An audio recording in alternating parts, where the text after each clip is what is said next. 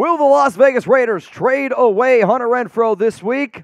I'm going to give you my answer here. I'm Mitchell Renz, host of the Raiders Report, and there's been a lot, a lot of rumors circulating around number 13. And this is a player that I get it. Raider Nation loves. I love Renfrow. We always have the respect for him because he was a solid player when we needed him the most. But for those of you that watch this show, uh, where there is smoke, there is usually fire. And I am telling y'all right now, the amount of smoke that's going on right now around Hunter Renfrow, it's getting to be a little bit intoxicating. I don't even know if that's the right word to use for it, but you know what? If Renfrow does end up getting dealt, we're going to go live here on the Raiders board. Hell, if any trade ends up going down before the NFL trade deadline, we will be making a video. So make sure you're subscribed. Make sure you got those notifications turned on. I don't want you to be the Raider fan that's like, yo, you think the Raiders are going to trade Renfrow? And then you got Tropical Kyle down in the comments, and he's like, are you kidding me? The Raiders report, they already talked about that 20 days ago.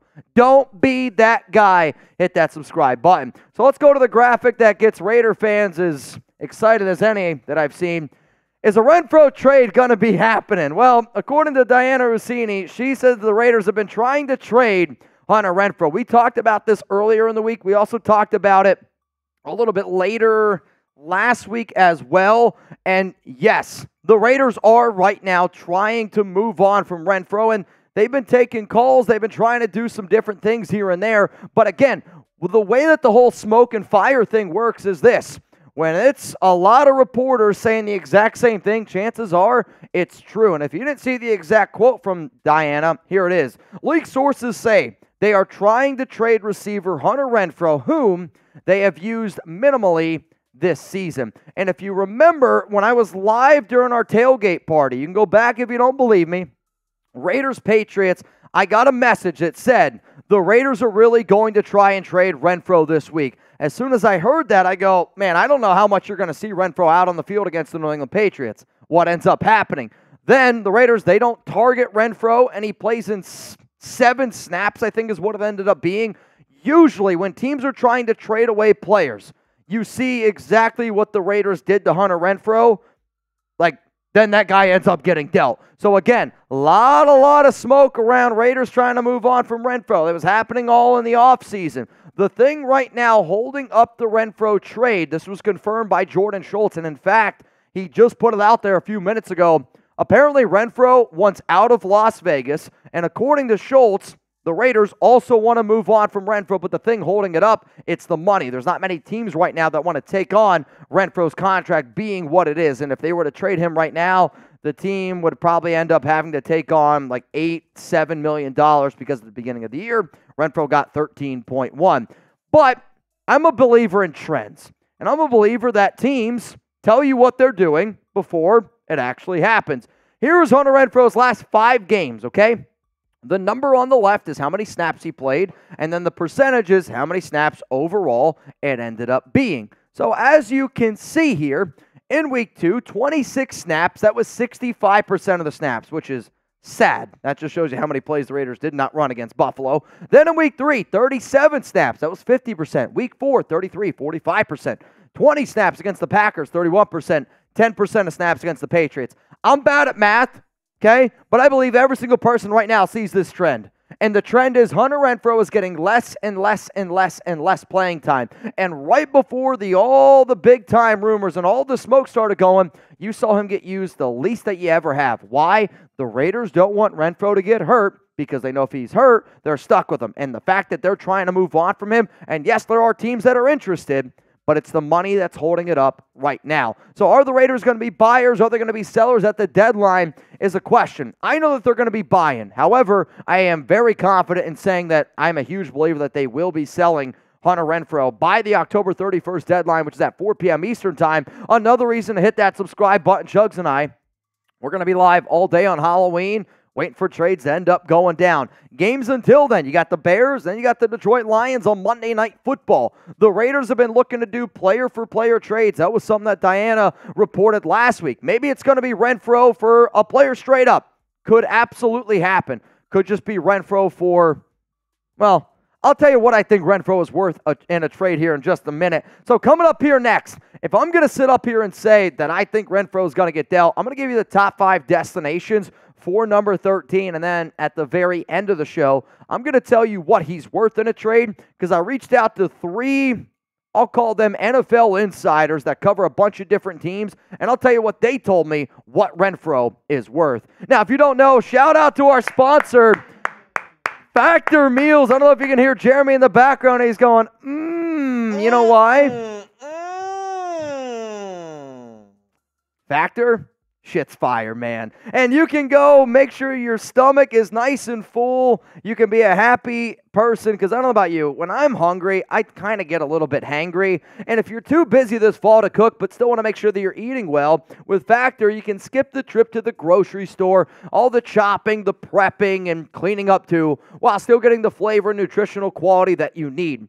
Factor's fresh, never frozen meals are ready in just two minutes. So all you have to do is heat and enjoy, then get back to crushing your day. This October, get Factor and enjoy eating well without the hassle. Simply choose your meals and enjoy fresh, flavor packed meals delivered to your door, ready in just two minutes. No prep, no mess. Head to factormeals.com slash RaidersChat50 and use code RaidersChat50 to get 50% off. That's code RaidersChat50 at factormeals.com slash RaidersChat50 to get 50% off. And if you're like, Mitch, I still don't know what the link is. I don't know what the code is. Don't worry. Chokes put it down in the comments and he put it down in the description as well. I promise you this if you're a busy person and one, two, hell, even three days out of the week, you're like, man, I just don't have time to cook dinner and I definitely don't have time to clean up.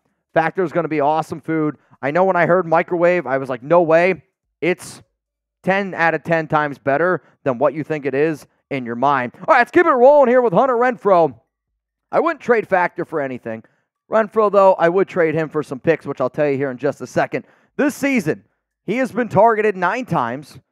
He has six catches for 59 yards. And basically, since he's been with Josh McDaniels, man, we got to be able to face the facts here. McDaniels has not used Renfrow at all. He has played in, I'm going to say 17, 18 games, has got one start. To me, though, the teams that would be interested in trading for him, the Buffalo Bills. And for people who watch the show, this list really has not changed for me because I believe Buffalo, yes, they look great sometimes, but then they also have that clunker of a game like they did against the New York Giants. And Josh Allen has succeeded when he's had a receiver like a Cole Beasley. Now you can get a Hunter Renfrow. The New Orleans Saints, if there's one team that has already shown you this year, man, they had Lynn Bowden Jr. down there. They had Bryan Edwards at one time down there.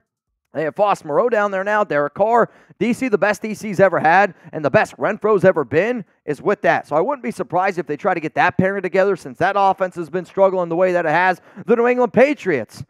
If there was a trade that I think could go down, Kendrick Bourne for Hunter Renfrow straight up is an intriguing one to me. The Minnesota Vikings, they need another Adam Thielen. Since they've lost him, he's not there. And then the Baltimore Ravens. The Baltimore Ravens, I do believe, could use a slot receiver like Renfrow. So what do you all think? If we were live on the show right now, I just look down I go, oh my God, Hunter Renfrow just got traded. Which team do you think he's going to? What team do you believe is the most likely picks up the phone calls McDaniels, calls Ziegler, and says, I want Hunter Renfrow. Let me know because coming up here on the show, I'm about to tell you what I think Renfrow is worth in a trade. Before I get into that, I do want to keep you up to date on when Jeremy and I are going to be live this week. We go live every Monday and Tuesday. You might as well already put that in your calendar. Live Raiders Report, Monday, Tuesday, 4 p.m. Eastern Time, 1 p.m. Pacific. Then we go live on Thursday. We do a little Thursday night football, have a little fun. Thirsty Thursday, let the hair down a little bit. And yeah, we slam a few brewskis, no doubt about it. But you know what? We get to watch Derek Carr this Thursday. I'm excited. Then live Sunday. It's an early morning for people out there on the West Coast, but I need y'all to rally. We're going to be battling Bears Now, our third biggest channel here at Chat Sports. The Raiders Report, in terms of subscribers, is the second biggest. We're taking on the third biggest in a big time super chat subscriber battle. I need the entire nation to rally because they've been talking hella shit. Hella, hella shit. So let's get in now to what the Renfrow trade value is, okay? So over the last, I'll say 48 hours, I've made some phone calls, I've texted a few people, and there's a guy, he covers the NFC or a NFC team, and he told me the what you would get for Renfrow is a fifth round at best. Then I reached out to a friend of mine who covers an AFC team, and he said a sixth round pick seems fair. Then I talked to another guy who I trust very, very much in the NFL world, and he said the Randy Gregory trade. So I know there's a lot of Raider fans out there that think, oh, we're going to get a second round pick, a third round pick, a fourth round pick for Renfrow. You ain't getting that. Like, I'm sorry, you're not going to get it. This is a yard sale type of a deal. And yes, I think Renfrow's a good player, but you got to understand where the hell this team has been and where Renfrow is right now. And a lot of people don't look at him as the way that I think Raider fans look at him because Raider fans see 100 catch Hunter Renfrow. The rest of the NFL looks at, well, he had 36 grabs last year and he's not even getting used this year. So you got to think about that in terms of value. And then you also got to add the money on top of it. If you don't know what the Randy Gregory trade was, this is what it was. The Broncos receive a sixth round pick. The Niners get Randy Gregory and a seventh. This is the deal that I think fans would be really upset if it ended up going down because of the money and how it works. But there's a part of me that wonders could it be this? Could it be Raiders get a six round pick, and then the other team gets Hunter Renfrow in a seventh. To me, the value that it ends up coming out, and again, I, have said this multiple, multiple times here on this show. Raiders get a six, NFL team receives Hunter Renfrow. I believe that at best, the silver and black will get a sixth round pick for Renfrow. But hey, what do you guys think? This is a show about the nation. It is. It's just a cold hard fact. What do you think Hunter Renfrow is worth in a trade? Is he worth a third round pick? Is he worth a seventh round pick? Is he worth a fourth, a second? I've seen all the answers out there, and I've heard people say a whole bunch of different things to me of Mitch. You don't know what trades are. If there's one thing that I feel like I've actually been pretty damn spot on, it's been my draft coverage here of the Raiders in terms of players that are good and bad, and it's been what players are worth in a trade. I take a lot of pride in that. So Buzz-O-Matic says six. I see some people down in the live comments saying five. I want to know from all of you, what do you think Hunter Renfrow is worth in a trade?